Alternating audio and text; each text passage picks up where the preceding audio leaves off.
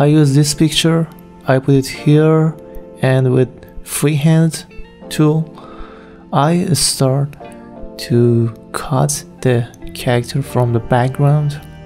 Actually it's easier than a pen tool on Photoshop.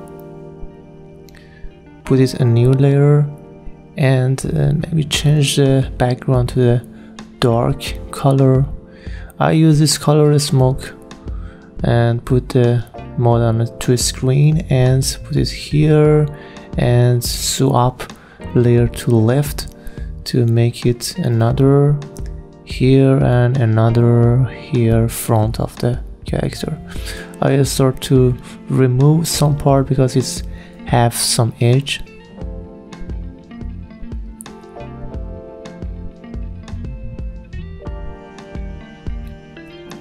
and for the character I start to change the color maybe maybe more blue. And more bright. Okay so I, I make another layer from the character and make it more bright. And uh, yeah it's good and I start to remove some part to you know, to create some shadow and some uh, light like this.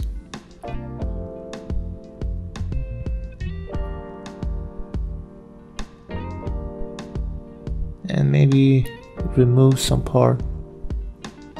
I create a new layer clipping mask soft light mode and opacity to 59 and I'm trying to add some highlights to arms, fingers and edge of character.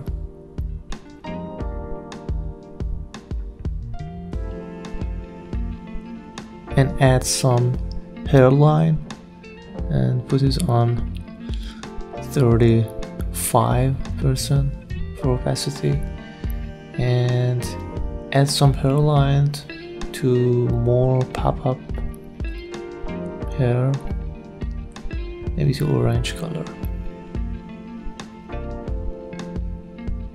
Add some new line thin line to hair. And uh, add some another highlight reflection of lights here and here.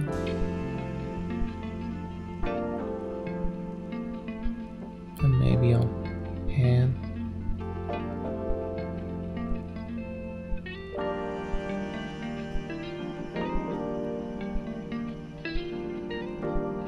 And to another layer in another layer I add some smooth light effects on corners and on clothes and arms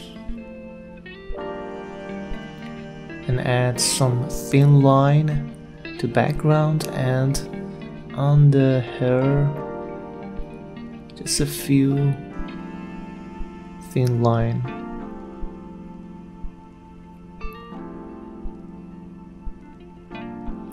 I use this smoky uh, photo uh, to make atmosphere I use curve to change color maybe maybe to yellow or more green. Yeah green is good I think.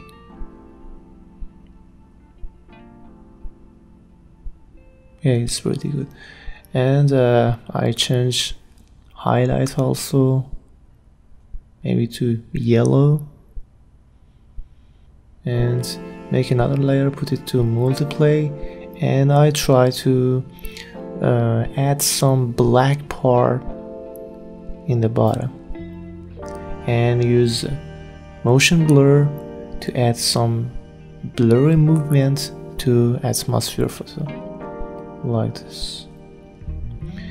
And I make merge this color at smoke and change the color to match the green. Maybe maybe light green.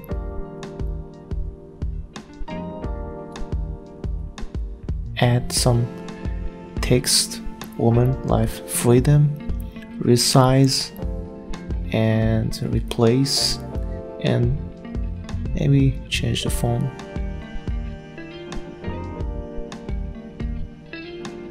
Change color to to gray. And I'm trying to find a good place. Maybe here is good and change the color a little bit. Yeah I think I think it's good. And add some some uh, brush using a stylus a stylus brush. As you can see it's a default brush. And add some orange color to match with this green color. And after that I start to add some thin orange line here and here on fingers and add on some hair. I use the halftone to make it like this and put the opacity to 35 maybe and add chromatic aberration to add some random color like green and blue. And resize again and change the position of the our text. And that's it